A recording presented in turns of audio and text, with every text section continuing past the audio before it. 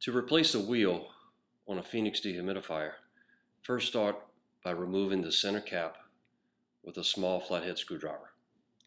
Next, with the needle nose pliers, straighten out the bottom end of the cotter pin and then pull the cotter pin from the axle.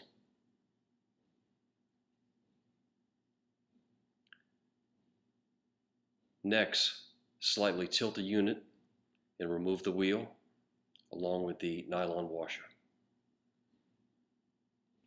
To replace the wheel, simply tilt the unit, slide the wheel onto the axle. It may be necessary to pull the axle all the way out to give room for the nylon washer and the cotter pin. Next, reinstall the nylon washer. Next, reinstall the cotter pin.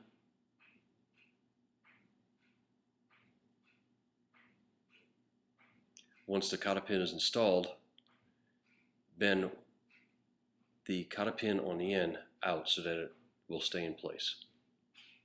Next, reinstall the center cap. It will be necessary to line up the alignment pins with the holes that are in the wheel.